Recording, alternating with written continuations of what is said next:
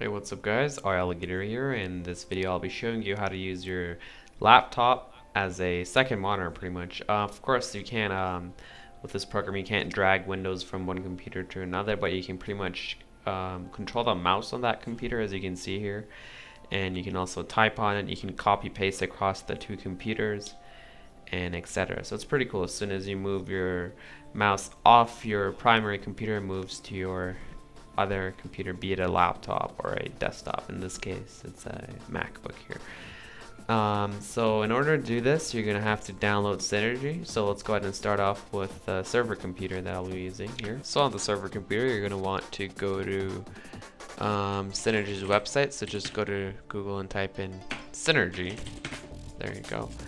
And it'll take you to the site, synergy-foss.org. You're going to want to open that up and you can see it works for Linux, Windows, and Mac, so it doesn't matter which operating system you're on, this program will work for it. Let's go ahead and just go to the download page and download the appropriate version for your computer.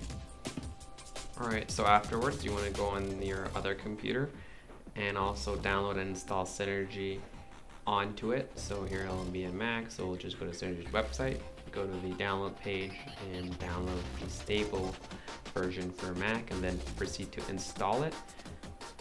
Once it's installed, we can hop back on the computer we want to be controlling from or our server computer.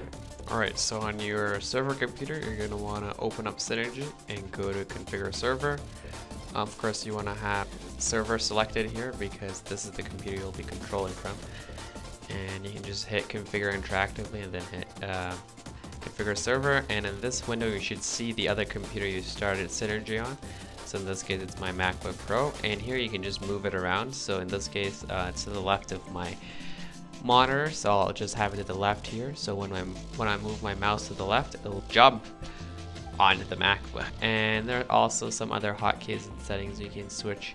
Here for example you can have a wait uh, for when you get to the corner until you can actually go on the other monitor in case you're um, you just don't want it to move back and forth for no reason. You can have a wait.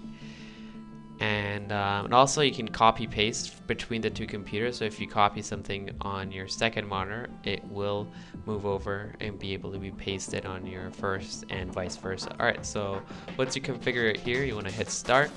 And now you can just move your mouse back and forth between the two computers. And uh, it all works out. So that's pretty much it guys. Uh, I hope you enjoyed this. If you have any questions, feel free to ask in the comments below and I'll do my best to answer them. And uh, don't forget to watch my previous videos. The links will be up in a bit. In the end of this video, I'll follow me on Twitter, Facebook, and check out my website. All those links in the description. I'll see you guys in my next video. Bye-bye.